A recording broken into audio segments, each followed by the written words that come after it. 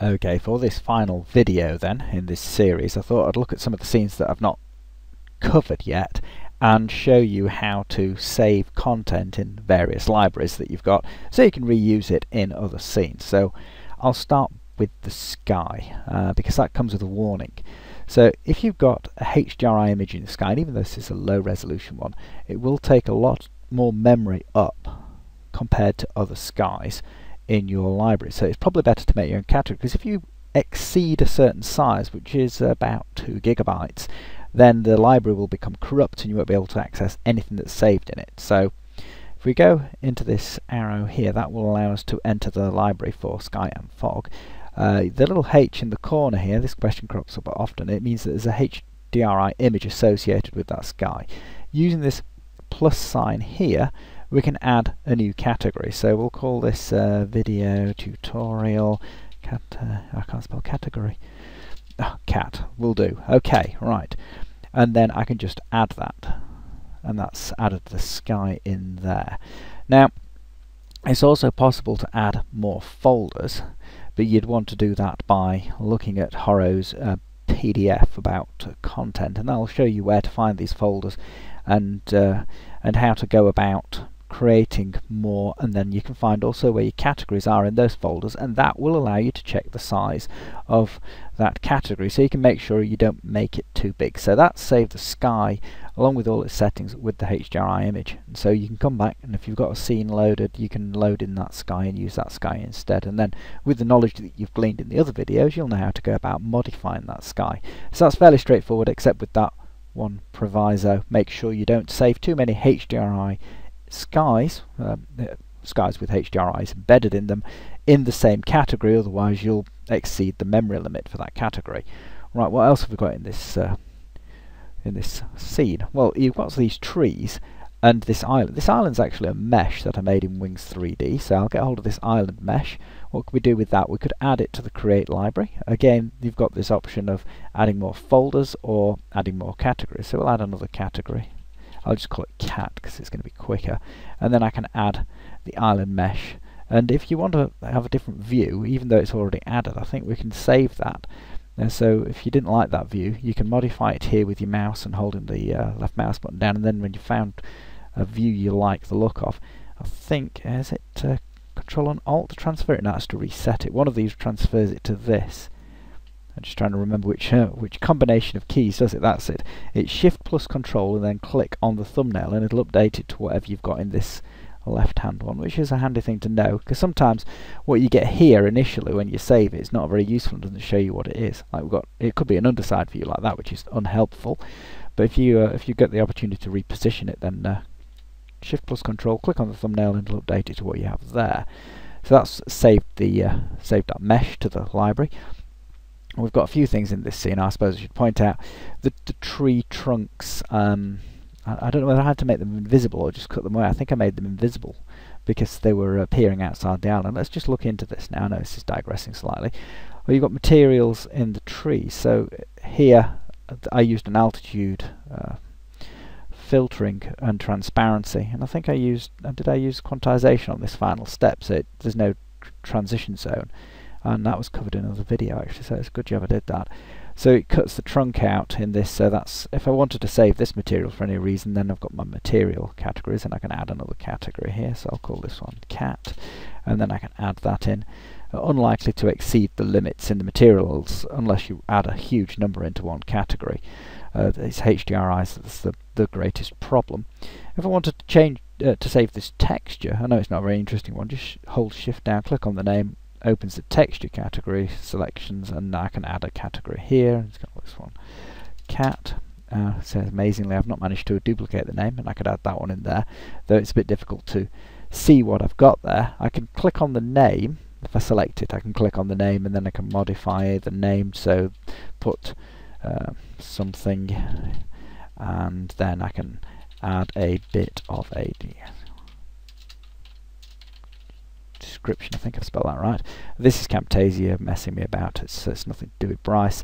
Um, that's the trunk material there, and here I've got the leaf material. You'll see that it's transparent, and I suppose I should point out, well, we've covered the saving that, that the combining transparency with HDRI lighting is a really bad idea, but what I've done is I've named the trees all the same trees and I've excluded them using the influence control here in the image based lighting tab so I've excluded all the trees I've excluded the water and I've excluded the ground so that uh, fewer things are lit by the HDRI lighting only the significant things because the the shadows are strong enough from the predominant light source to get away with that, but that, that's a digression. Okay, and they've got island here, material, likewise, you can just save it in your uh, category. If you can fish out where you've put it, there you go, and add it in. And likewise, you can save, you can change the view here if you don't like it to actual selection, for example, and then hold Shift and Control, and you can update the preview in these libraries. It works in a very similar way. What other scenes have we got that we can steal stuff from? I might steal this water surface actually, so I'll just uh, add that to my library there and then and then when it comes to other scenes you can bring these back in. And if you save a material you've automatically got the texture components in it. But if you've saved the texture components as well it can save you time when it comes to synthesizing another material. Oh I know what I've got. Um, this scene for example these islands that look like pillars they're trees. So um, made an excellent video about all aspects of saving and exporting trees, but by and large I think the, the safest bet with saving trees is to save them to the object library uh, rather than uh, than using the exporting the I think there's a BTO files. I've, I've never really done anything about that, but Horo's got a video, it's on my YouTube channel uh, if you want to know more about saving the components of trees. So, uh, but but I'd use the object library just to be safe. And what else we got? Oh no, I was going to mention something about this as well. So in this scene, I've built this up from uh, a lattice and some rocks that are random replicated. But the field of view is so large, I've got the side view here, that um, that I've had to lean the trees over to just to make them look upright. Uh, the skies, I've created a bit of a, a, halo effect around the stars again. There's other videos that show you that, or you'll be able to see from the settings used in here, and the combination of adding the HDRI to the sky and the atmospherics. Look how high the colour perspectives are. I'm digressing, you can just add these to the library. You can add the skies to the library from here, or I suppose uh, you could add them from here. Uh, where, where do we put that category now? It will appear in alphabetical order. Eh, what did I call it? Um, video tutorial category. There you go. Right, so there's there's a couple of skies in there. I noticed that this has also got a filter in front, and since the filter is just an ordinary material, we've got the option of adding that to our material category there, or we could save the texture. This is a picture texture now, so that'll occupy a little bit more space probably. So hold the shift key down. Ah, I can't do it with that. So, okay, that's an important difference. Because it's a picture texture, I can't hold the shift key down and enter the library. I've got to go into the texture source editor, and I think I can copy that. But I don't know that I've got anywhere to save it because there's no proper library, so that's something to be aware of. And you can see how often I use picture textures, because I didn't even really think that that would be a problem. So probably best to save that to the material library, then you can recover that component. But I don't think there's any way to save that texture component there as you can do with the procedurally generated ones. Um, I think I've used a material, actually if I go back to the library one, uh, not the library one, what am I saying? I go back to this one that I showed you first. I think I've used um, texture in there, there's a picture. Yes, this is um, there's a spherical map. I think I probably just use a spherical mapper to generate that from um, a cube, but as, a, as a component, if I hold the shift key down and click on the name, I can't I can't save it to the library like I can this one, which is a procedural texture. And so I'll just I'll just pop that in the category. So oh no, I've done this before, haven't I? In another video. So I've, I think I called this one cat. The thing is, when you've built up these libraries, they're a great resource to come back to when, when you're making more scenes. You can quickly pull things out and change them. So we've got this uh, sunburst effect here, and I can add that just to select on the filter. Now, since these are filters, I suppose one final point, since these are filters and so applied to a 2D object, I could just save the object itself, and that would also have the material incorporated with it. So if I add that there, that's that's saved the material with the object. So we've got the object the material and then the texture component that's embedded in the material. So if you save the object you save the whole lot. If you change the texture component which is kind of more convenient when you're building materials up then you can pull those out of the library quite quickly. So there you go. A bit of a rambling rundown of just a few of the files that are available and how to save your content from these files so you can reuse it in other scenes, which is what I encourage you to do. And uh, and then you can you can learn from the little bits of content that you've picked up bit by bit, which is how I learned how to use the deep text editor or the material settings. I just looked at other materials, saw what was there, saved them, used them in my own scenes, and gradually adapted them to what I needed.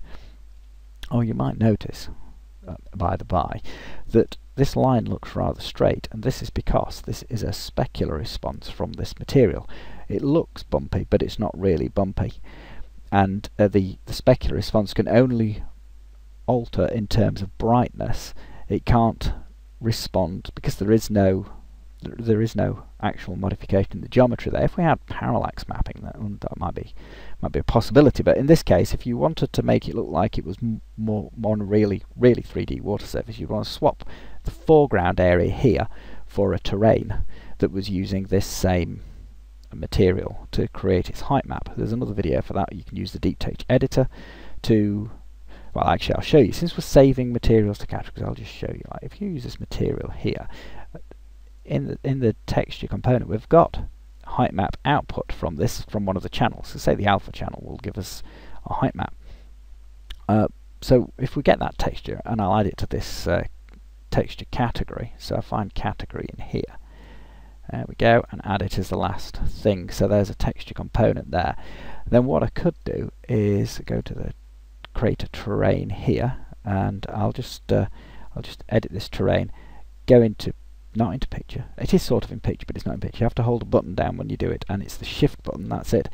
And at that point, oh, it's remembered the last thing I looked at. But if I wanted to get one out of the library, I could click on here and select it from the library only the alpha output is used and you can see the scaling wouldn't match the what we've got in the scene because this is going to be the height map so we could steal this height map and use it for a height map for a terrain which we could then put a water material on. So we've gone from bump geometry to real geometry which is quite nice. So we've used the libraries to, to pull that information out.